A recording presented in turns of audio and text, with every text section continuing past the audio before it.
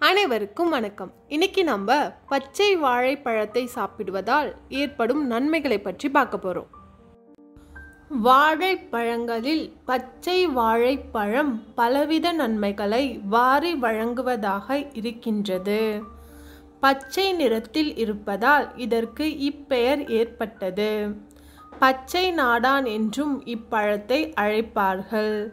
இப்பழம் அதிக குளிர்ச்சி தரும் தன்மை கொண்டது. குறைந்த அளவே இப்பழத்தை சாப்பிடுவது நல்லது. பச்சை வாழைப்பழம் மலச்சிக்கலை நீக்கும் குணம் கொண்டது. இப்பழம் வயிற்று பாதையில் உள்ள குடல் புண்களை ஆற்றும் தன்மை கொண்டது. குடல்களில் சுரக்கும் அமிலங்கள் குடல் சுவரை அரிப்பதன் காரணமாக குடல் புண் எனப்படும் அல்சர் ஏற்படுகின்றது. பச்சை வாழைப்பழத்தை தொடர்ந்து சாப்பிட்டு வந்தால் இந்த பாதிப்பிலிருந்து விடுபடலாம். குடல்களில் பழுதுபட்ட மெல்லிய சவ்வு தோள்களை விரைவில் வளர செய்து புண்ணை ஆற்றிவிடும் சக்தி பச்சை வாழைப்பழத்துக்கு இருக்கின்றது. பச்சை வாழைப்பழத்தில் ஸ்டார்ச் அதிக அளவில் உள்ளதால் நீரிழிவு நோயாளிகள் இரத்த சர்க்கரை அளவை கட்டுக்குள் வைத்திருக்க இதை சாப்பிடலாம். இதய நோயாளிகளுக்கும் பச்சை வாழைப்பழம் நல்லது. சூடுபடுத்திய ஒரு கப் பச்சை வாழைப்பழத்தில் மூன்று புள்ளி ஆறு கிராம் நார்ச்சத்து உள்ளது.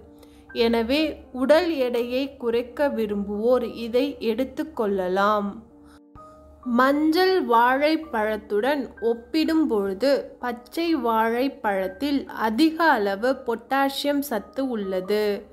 எனவே இதய நோயாளிகள் இதை சாப்பிடலாம்.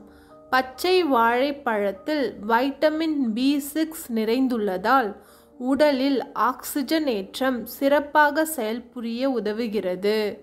மேலும் ஹீமோகுளோபின் உருவாகுவதற்கு வைட்டமின் பி சிக்ஸ் அவசியமான ஒன்றாகும். இரத்தத்தில் சர்க்கரை அளவை கட்டுப்படுத்தவும் இந்த வைட்டமின் உதவுகின்றது. சீரான பற்களின் வளர்ச்சிக்கும் பச்சை வாழைப்பழம் அவசியம் சாப்பிட வேண்டியதாகும். ஆஸ்துமா வாதம் நோய்க்காரர்கள் இப்பழத்தை தொடாமல் இருப்பது நல்லது. இந்த நோய்க்காரர்கள் குறைந்த அளவே சாப்பிட்டாலும் இது நோய்களை அதிகப்படுத்தும். பித்தத்தை இப்பழம் அதிகப்படுத்தும். எனவே அளவோடு சாப்பிடுவது நல்லது. நண்பர்களே இந்த வீடியோ உங்களுக்கு பிடிச்சிருந்தா லைக் பண்ணுங்கள் ஷேர் பண்ணுங்கள் அண்ட் இந்த மாதிரி இயற்கை உணவுகளோட நன்மைகளை தெரிஞ்சுக்க இந்த இயற்கை உணவு சேனலுக்கு சப்ஸ்கிரைப் பண்ணுங்கள் அண்ட் மறக்காமல் அந்த பெல் ஐக்கானையும் கிளிக் பண்ணிக்கோங்க. நன்றி.